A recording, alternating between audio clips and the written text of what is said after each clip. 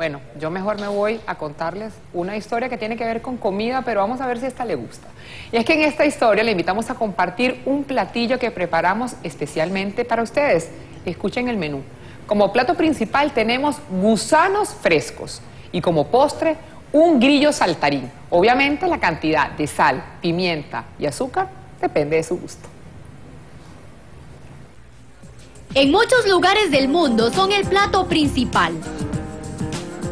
En nuestro país, estos gusanos son parte de una nueva opción que promete cambiar la cultura culinaria.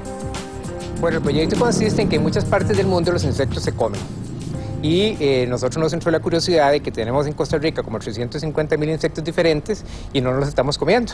Si bien afortunadamente no es que tenemos una necesidad de comérnoslos, pero sí hay una, hay una posibilidad de proteína, de alimento y entonces aprovechando una oportunidad que nos dio Funde Cooperación de financiamiento, fuimos a África a tratar de aprender cómo los cultivan ellos y también aprender la parte nutricional. Desde hace dos años se desarrolla el proyecto en el Indio y actualmente afinan detalles para que los podamos comer sin problema. Son muy ricos en proteína, algunos tienen valores tan altos como un 70% de proteína, son muy bajos en colesterol y contienen también este, muchos microelementos que son muy importantes digamos, en, la, en la nutrición. Entonces, realmente se considera que es una dieta ideal.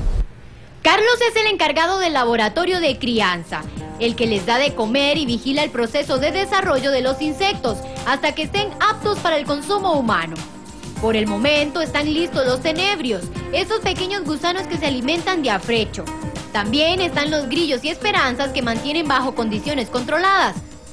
Bueno, ellos se crían este, con materiales de muy primera calidad, que son de muy alta calidad, porque son para consumo humano este, tienen un manejo diferente con respecto al resto y este, hace falta un poquito más de trabajo en el sentido que hay que conocer mejor los, los protocolos, afinarlos. ¿A qué sabe este nuevo plato que podría ser la boca perfecta en las reuniones a la tica?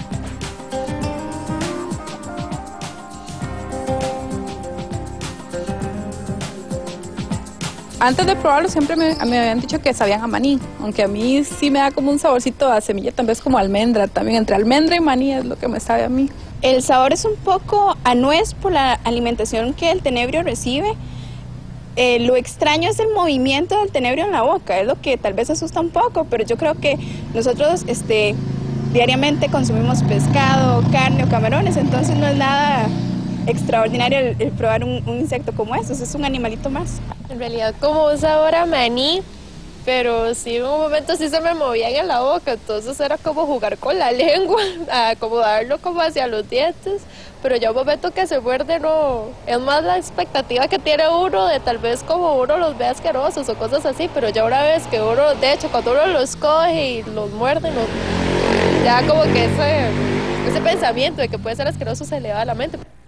Según los expertos, un plato de tenebrios como este podría costar entre 10 mil y 15 mil colones. Por ahora, estos se utilizan como prueba para mejorar el proyecto. Así que con esta propuesta del envío, usted en lugar de comerse un casado con carne en salsa, ahora puede comerse uno con grillos arreglados. ¡Se lo comió! ¡Dios mío! Yo dije, ¿será que va a quedar la imagen ahí cuando...? No, se lo comió Andreas. Yo no sé si es el tema del sabor, que en ese sentido entiendo que no hay ningún problema, como el tema de que se mueva en su boca y que sea usted el que termine con la vida del pobre animalito de la forma más cruel del mundo. Yo no sé. bueno, por favor, que ese no sea mi reto, por favor.